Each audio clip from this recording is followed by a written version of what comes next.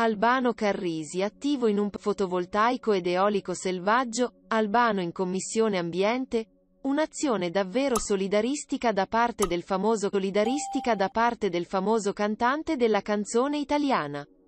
Il cantante ha voluto aderire all'iniziativa del consigliere regionale Paolo Pagliaro, la riunione si terrà lunedì 25 gennaio 2021. Sono felice che anche Albano, insieme a tanti nomi illustri del mondo politico, accademico, produttivo e ambientalista pugliese salentino, abbia voluto aderire alla mia iniziativa di richiedere un'audizione in Commissione Ambiente, per imporre uno stop alla proliferazione selvaggia di impianti per la produzione di energia cosiddetta, pulita, che stanno deturpando e snaturando il nostro paesaggio.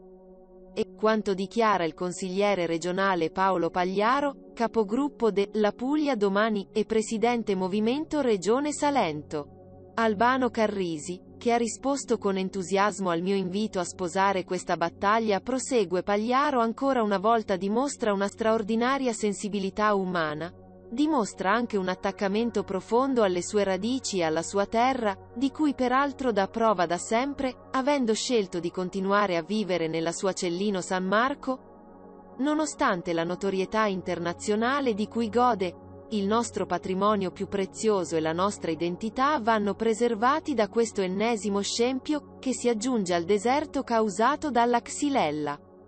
Difendere la terra, continuare a coltivarla come fa Albano nella sua tenuta, è dovere di ogni salentino e pugliese che abbia a cuore il suo territorio d'immensa bellezza, sottraendolo agli appetiti dei giganti delle rinnovabili.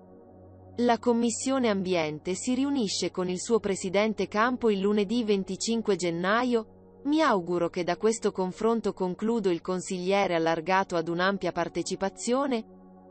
possano derivare finalmente regole e limiti certi, che salvino quel che resta delle campagne salentine e pugliesi dall'obbrobrio di impianti fortemente impattanti.